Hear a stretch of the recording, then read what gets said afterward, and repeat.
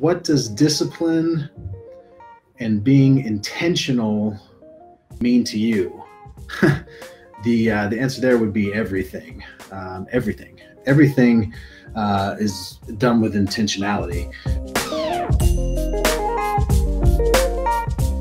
And I think for me, the the tell of a person living with intent is passion. Mm. Yeah.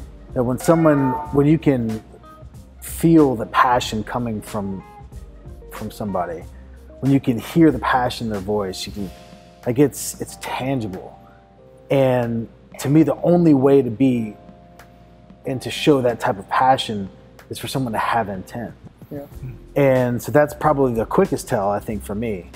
Um, you know, some of the, the just the quick things that come to my mind, like when I see someone that's like always moving fast, like like wherever they're going, like they're just like they're on a mission. Like they're like I, I have to get somewhere because I have to do something because I have intent behind what I'm doing. Yeah. I'm sure there's examples, but I can't really think of many of someone that lived a life like that that didn't have intent. Yeah. Mm-hmm. That just was an intense walker.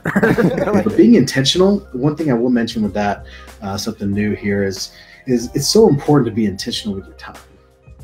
And you know, a lot of what we uh, talk about is, you know, with life goals and taking people through this process of having three goals in each of the four areas of life: um, your relationships, your body, your mind, your business.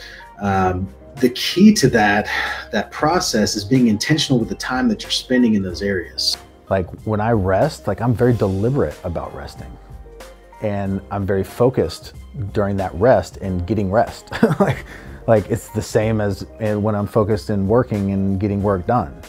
Um, so it's it's it it parallels everything to business, everything at home, everything with your body, everything with your relationship with God, everything with your relationships with other people. Like it's all about intentionality.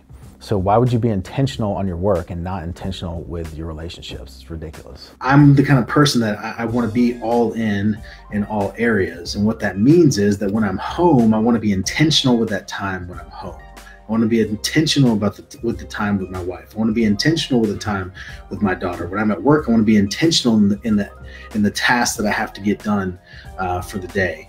Uh, when I'm at the gym, I want to be intentional with the time uh, that I have at the gym uh, and, and, which creates an environment of efficiency uh, for me. So uh, intentionality is is huge.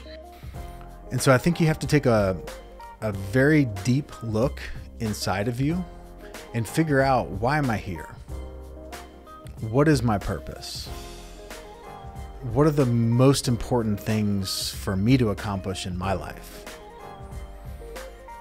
And then through that framework of intention, you have to view everything that's on your plate.